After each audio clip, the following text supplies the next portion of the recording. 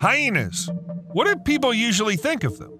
To us, they're kind of funny dogs from Africa who really like to laugh, run around somewhere near lions, stealing the prey they hunt down, and yeah, I guess that's about it. Except that the life of hyenas is far from being as nice as it might seem at first glance. Today, you'll learn why hyenas are so fond of carcasses, what habits of these animals are truly revolting, how hyenas were able to handle anthrax, why people feed these predators from their mouths, and why no cubs can feel safe inside the hyena clan. Safaris might be fun for those excited about wildlife, but sometimes you can witness truly weird scenes in the wild. A naturalist once found a dead Central African rock python really big snake that apparently had been killed by a leopard. The carcass smelled simply disgusting, so people decided to not go anywhere near it. When suddenly they noticed a hyena, instead of eating the dead python, the hyena approached it and began rolling around on its carcass. After doing this several times, the predator got up and left without taking a single bite. And it was very strange, although, according to the rangers, scenes like that happen sometimes. Of course, one can try to find an explanation for this behavior. Some animals often roll in the feces of other animals to acquire a smell of these very feces. For example, leopards and lions prefer buffalo dung. But for a predator to roll on someone else's carcass? There are several theories as to why some animals would want to smell of other animals' dung. Some mythologists suggest that animals may roll around in dung or on carcasses out of curiosity to claim their prey or let the rest of the clan know what they found. Like, hey, I found dung! Good news for all of us! However, most scientists speculate that rolling around in dung or on the carcasses of other animals can mask the scent of predators and help them hunt. There's some logic to it. After all, if you're some kind of wildebeest, you hardly expect to be eaten by a python that's been dead for a couple of days. However, a pungent smell will make any animal wary and thus make it even harder for the hyena to hunt. Then what's the point? Well, actually, scientists don't really have a clear cut answer to that question. Science hasn't yet unraveled the meaning of such hyena behavior. But Steve has managed to find a couple of unexpected theories. For example, one of them says it's all about perfume. What? Humans wear perfume to be more attractive and socially successful, so why shouldn't hyenas do the same? A few years ago, an experiment showed that captive spotted hyenas like to roll about in their prey to acquire its smell. The researchers also found out that if the animal's fur smelled of carrion, that animal leveled up its status in the pack. That is, hyenas find other hyenas that reek of carcasses more attractive and interesting. Keep in mind that in hyena packs, there's a very strict, consistent hierarchy which makes it incredibly difficult to climb the social ladder. Maintaining a good status can also be difficult. Position of the animal in the hierarchy depends a lot on who befriends it in the pack. Imagine people also had to smell like a dead python to get a promotion. But yes, the more disgusting the hyena smells, the more popular it seems to be among its kin. Maybe this is why hyenas like their vomit so much. I hope you're not eating anything right now, because hyenas really love vomit. As soon as one hyena vomits, the others immediately rush to it to roll in that vomit. Both cubs and quite old hyenas who hate getting up do that. They get very excited about the vomit. Experts have even seen entire fights when teenage hyenas unsuccessfully tried to shoulder out adults just to roll in vomit first, and for a longer time. But you know what? Vomit, carcasses, and dung are nothing compared to anthrax. For those who've never heard of it, let me explain. It's a very dangerous, infectious disease that affects everyone in the area and is so fulminant and excruciatingly painful that anthrax was even used as a biological weapon. Did you realize how dangerous it is? So, hyenas can eat anthrax infected corpses. It's been documented that hyenas have survived anthrax and rabies infections, as well as outbreaks of several viral diseases that have decimated populations of similar predators. Hyenas are so resilient that scientists are understandably curious. I mean, what the hell? It's like hyenas know some kind of cheat code and don't share it with the rest of us. There's a theory that suggests that evolution might be the reason for their resilience. The immune systems of animals that mostly eat carrion must have been shaped by selective pressure. If you can't survive a bunch of dangerous pathogens that get in your organism with your food, your species will be doomed. But hyenas are not extinct. They've learned to adapt and can now handle even anthrax. Because of their diet and habits, which I've already mentioned, many people think hyenas are, well, unpleasant, to put it mildly. Disgusting, even. But it's their nasty habits that sometimes bring tangible benefits to people. The Ethiopian town of Mekelle is home to more than 300,000 people and more than 100,000 head of livestock. When residents toss dead chickens, donkeys, or cattle into the city dump, spotted hyenas show up. Wild game has become scarce in the area, and the hyenas compensate for the lack of it with dead livestock. You'd think, what's the big deal? Well, the hyenas eating the carcasses stop the spread of disease. Scientists have estimated that one hyena crunches up to 2,160 pounds of dead livestock a year. In 2019, about 210 hyenas in Mekelle ate about 4.2% of the available animal carcasses. According to the researchers, the scavengers prevented three anthrax infections and two cases of bovine tuberculosis in humans, as well as 11 cases of anthrax infection and 129 cases of bovine tuberculosis among livestock. Taking into account disease treatment and livestock costs, scientists estimated that hyenas saved people more than $50,000 in the year the study was conducted. By the way, hyenas eat not only meat but also bones. These guys don't mind anything edible at all, and their feces are white because of the bones. But even this feature proved to be beneficial. Scientists have found that hyena dung contains from 1,000 to 20,000 times more calcium and phosphorus than local soils. That is, hyenas unknowingly produce a great fertilizer. In addition, hyenas' eating habits spread nutrients to other animals that don't have access to them. Hyenas leave behind many small splintered bones which are used by birds. Birds that don't have access to these splinters tend to be more likely to suffer from diseases caused by phosphorus and calcium deficiencies. And then I thought, if hyenas are so useful, how come people still don't realize that and make use of it somehow? Why are we so squeamish about hyenas, even though they're actually doing us a service? Turns out there are people who do realize this. Records indicate that spotted hyenas have lived in the walled Ethiopian city of Harar for at least 500 years, where the predators did exactly what they do best kept the city disease free. It's believed it all began in the 1550s when a local emir built the city's walls. The low openings in the wall served as proof that the people of Harar actually wanted hyenas to come to their city. The hyenas ate most of the organic waste, thereby protecting the people from disease. The only problem was that packs of wild hyenas sometimes attacked locals and livestock. Booga booga! So they decided to tame them. Well, a little. To make the animals more comfortable around humans, specially trained people approached them and fed them food scraps. Even today, hyenas regularly come to the city walls, but the locals aren't afraid of them because the predators just don't attack people. Every night, the men who feed the hyenas go outside and call the predators for dinner. Seeing a pack of up to 30 adult hyenas circling around a single man might be unnerving, but the men don't run away. And sometimes they even feed the hyenas from their mouths.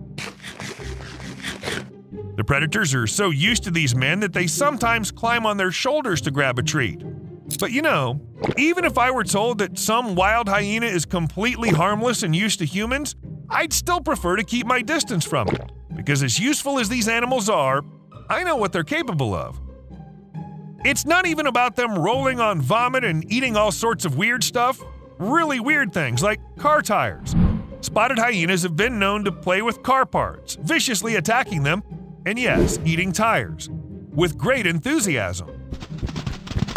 People even place thorn bushes around the wheels of parked airplanes to prevent the hyenas from getting to them because the hyenas like them very much, especially if the tires have picked up dung on the runway. I guess that matches their taste perfectly. After all, they do like eating feces. You heard right, these predators indeed eat feces, human ones, and would even wait for this unlikely snack by a latrine in Kruger National Park, but how could they eat this? Actually, eating feces, their own and of other creatures, is pretty common in the animal world, most animals eat feces because they contain undigested food and therefore vital nutrients that would otherwise be wasted. For example, coprophagous insects prefer the feces of large animals because large animals don't have very efficient digestive systems, which means there's still a lot left over after the food is passed through. But yes, sometimes animals eat their own feces as well.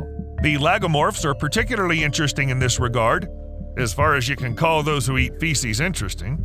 Anyway, the small guts of these animals don't digest everything the first time, so they send the food back a second time. Yep, that's exactly what it looks like. They have two kinds of feces, edible and inedible. Thank you, evolution. You've done something super weird again. And then there are chimpanzees. They eat their feces only occasionally, not on a regular basis. The most likely reason is that some of the seeds they eat are only partially digested, so the chimps eat them again to harvest the nutrients. But back to hyenas. Remember, I said that I wouldn't go near them because I know what these predators are capable of? Listen to this story. An elderly man was killed by a pack of hyenas in Zimbabwe after they pulled him out of bed. This happened back in 2020. The poor fellow, identified by police as an 87 year old local man, was dragged about a thousand feet away from his hut. By the time the body was discovered, its lower half was missing. The same pack of hyenas is believed to be responsible for a series of attacks on cattle and goats in the area. Locals have been urged not to move around at night and to keep all doors and windows closed until the animals are caught. And apparently, the situation wasn't so unusual for that area. Predator attacks on people happen during the dry months when food and water are scarce. Addis Ababa, the capital of Ethiopia, also suffers from hyenas that have moved into the city from the surrounding hills. In a way, they do people a favor by keeping the growing population of stray dogs and feral cats under control. Well, and by eating the carcasses of dead horses and other animals. But the problem is that hyenas periodically attack people right on the streets. About a couple of times a month, homeless people go to the hospital because hyenas have nibbled their fingers or toes. The homeless usually can't think clearly at this time, so they don't find out about what happened until after the fact. There was a time when a hyena snatched an infant from its mother's arms and ate it, right outside the Hilton Hotel. I'm going to give you a statistic, and you just look at it. In 2000, four people were killed by hyenas, and in 2005 and 2006, 11 people were killed and over 40 were injured. From 2010 to 2012, 12 people were killed, most of whom were children under the age of 12. And yes, all of this is happening within the city limits. In 2011, airport authorities had to call in hunters to shoot a pack of hyenas, which posed a threat to the landing and takeoff of planes. In addition, people living near the Ketching Public Cemetery complain about hyenas digging up and eating the corpses of poor people. Why poor people? They're the ones buried in very shallow graves.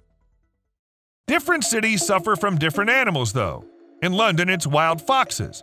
They actually moved into the capital around the time of World War I, but since then, the number of foxes has only increased. You can understand them. The city's growing, there's more food that you don't have to hunt for, so why move into the wilderness? As a result, it's estimated that there are about 10,000 foxes in London today. In Delhi, people suffer from monkeys. Although it's fair to say that it wasn't the animals that came to humans, it was humans who invaded their natural habitat, rhesus macaques had to adapt, and now they have become a real problem for the city. The animals use Delhi's tree lined streets to swing between buildings, damaging power lines in the process. Very often, they snatch food from people as they're walking and sometimes even tear up documents by climbing into buildings through windows. Municipal bodies estimate that as many as 40,000 monkeys live in Delhi, and although many solutions have been tried to avoid conflicts with them, nothing has worked. Nothing at all. They had to make do with giving guidelines for people so they would at least know what to do in the event of a close encounter. Too bad you can't give such guidelines to macaques. Okay, back to the hyenas. Actually, they appear to have been a problem for people for a long time. And when I say long time, I mean they've been around for 500,000 years. That's how archaeologists dated the bones of the Homo rhodesiensis, a fossilized human species. The bones were found in a cave in Morocco, and there were teeth marks on them, which made it immediately clear that this early human species had been eaten, and it was a hyena that did it. True, it's impossible to say whether the hyena killed the man or simply found him already dead and decided that his meat should not go to waste. Whatever the case, at that time there were several large predators, including hyenas, living in this part of Africa and all of them often encountered ancient humans. You could even say that humans were a resource for predators, which means that even 500,000 years ago, hyenas were already a threat. But there's an even more interesting thing. Once upon a time, humans' eating habits were, well, you might say, almost like that of hyenas. Traditional northern hunter gatherers like the Inuit included rotting meat, fish, and fat in their diet. I still hope you aren't having a snack now. That said, there's no evidence that Inuit somehow suffered from their diet, such as experiencing serious outbreaks of botulism. The Inuit were fine. At this point, you might think that eating rotten meat is a northern people's thing, but there are other surprising facts. The hunter gatherers and small farmers who lived south of the Sahara usually ate rotten animal food, consuming some part of it raw and some cooked. And they didn't just eat it to keep the meat from going bad or out of desperation, they actually preferred it to any other food. Even more surprising, this love of rotten meat remained widespread in the tropics until the first quarter of the 20th century. Perhaps I need to clarify exactly why rotten meat is dangerous. When an animal dies, its natural immune defenses stop functioning, finally allowing a whole host of microbes to enter and start decomposing the remains. And although these hungry microbes can often settle inside a corpse within five minutes after death, they still have to compete with much larger predators. That is, not only the microbes want to eat a dead antelope, but also, say, a lion. It's hard to stand up to a lion when they can't even see you without a microscope, and so the microbes produce many toxins that can kill most of the animal life. But if rotten meat is literally toxic, how come people can eat it or even enjoy the taste? Scientists analyzed various data and came to some rather unexpected conclusions. First, the disgust response to the taste, smell, and sight of rotten meat is not hardwired in humans. Rather, it's a cultural bonus to consider spoiled meat unpleasant. Second, people were resistant to the pathogens in rotten meat, not because of genetic traits, but simply because they ate such meat from an early age. Naturally, under such conditions, the body gets used to anything. And finally, eating rotten meat is simply beneficial. Rotting works almost as well as cooking because it effectively pre-digests meat and fat before they're ingested. Perhaps ancient people, before they learned how to cook meat, ate it already rotten and thus made it easier to digest, process, and chew it. Just in case, let me be clear never eat rotten meat. I'm serious. Unless you're a hyena or an ancient man and have been eating it since childhood, don't do that. It's dangerous for your life. And now we're back to hyenas again, because there's more to tell. For example, female hyenas can crave the blood of their cubs even within their own clans. A new study suggests that infanticide may be part of a strategy hyenas use to maintain their social standing. Yes, sometimes rolling on a dead python isn't enough, and hyenas switch into the hard mode. According to the data scientists have collected, 21 of the 99 observed deaths can be attributed to infanticide, and it's always committed by females. It's rather difficult to understand why they would do that, but a hint of what prompts such killings lies in the hyena society. Males may come and go, while females remain permanent members of their clan. Aggressive interactions help determine which hyenas are at the top of the social ladder. Yes, again, hierarchy is the factor. And I wasn't kidding when I said it was very strict. In almost all the cases studied, the killers ranked higher than the mothers of the victims. That is, some females may use infanticide to keep the bloodline of their rivals down. But even if the females are related, this doesn't guarantee the safety of the offspring. Researchers saw one female hyena target her sister's two cubs luring them out of the den before killing them both. However, it's worth saying that not all male hyenas abandon their clans. When males reach the age of two and a half years in age, they have a choice to stay or leave and join another clan. Each choice has its pros and cons. Staying in the clan means that the male hyena ranks first in the male hierarchy.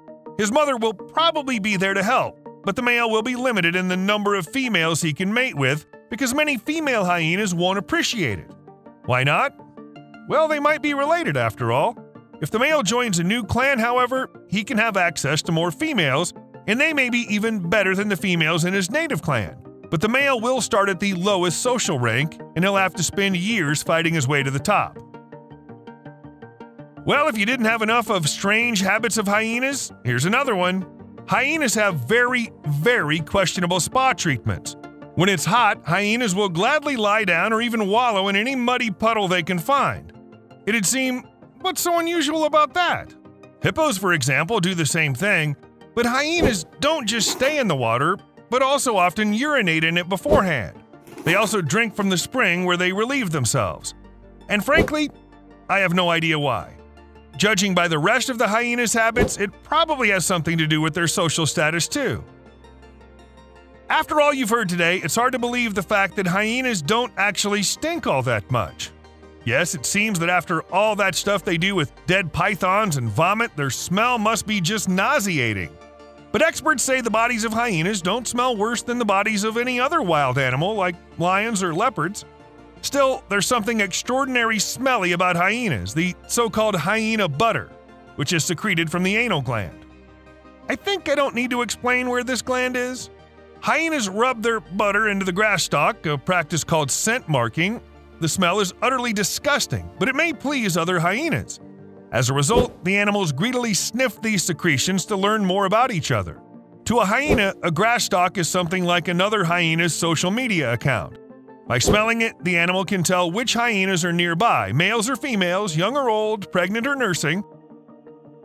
By the way, although it seems that hyenas are scavengers, they will never say no to fresh meat. Moreover, unlike other predators, hyenas eat their prey while it's still alive. There's a reason for this. Lions and other big felines usually choke their prey by grabbing it, crushing, or cutting the windpipe or breaking the victim's neck. This takes a lot of strength and physically drains the prey if it doesn't kill it immediately. However, hyenas don't have as much strength or enough patience to wait until their prey is physically exhausted first and then proceed with their meal. Hyenas will usually rip open the abdomen and immediately begin pulling out the intestines of their prey. Every vital organ, from muscles to legs, is eaten, and the prey is alive at this time. Hyenas oh. follow a simple principle if the prey can't hurt you, you can eat it. Also, the sooner you start eating, the more likely you are to have enough before your competitors show up. Anyway, like I said, hyenas are weird and really creepy animals. But we should be grateful to evolution that the really scary hyena went extinct a long time ago. Meet Dinocrocuta gigantea. This hyena like predator was one of the largest and strongest creatures to inhabit the ancient grasslands of China. One fossil shows us that it was clearly not afraid to hunt animals much larger than itself. And this was a huge hyena weighing 838 pounds and almost 6 feet long.